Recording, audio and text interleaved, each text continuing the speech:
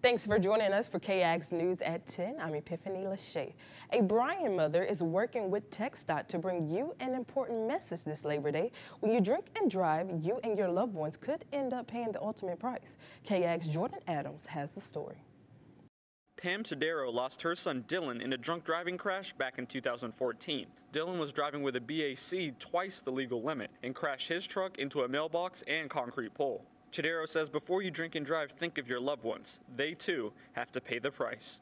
Even though my son, my son's uh, crash was seven years ago, it's still a part of my everyday life now, and it does not ever go away. Todaro is part of TxDOT's Faces of Drunk Driving campaign this Labor Day weekend. The campaign puts real faces and stories behind the statistics by way of powerful testimonials on video. There's too many choices out there today to be able to uh, prevent this. The, there's so many choices they can get. An Uber, they can share drive, they can have someone be the designated driver, they can just plan ahead.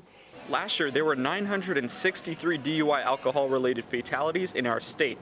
That means on average, a person in Texas died every 9 hours and 6 minutes as a result of a traffic crash involving alcohol. Driving while intoxicated can cost up to $17,000 in fines and fees, jail time, loss of a driver's license, additional costs, and other serious consequences.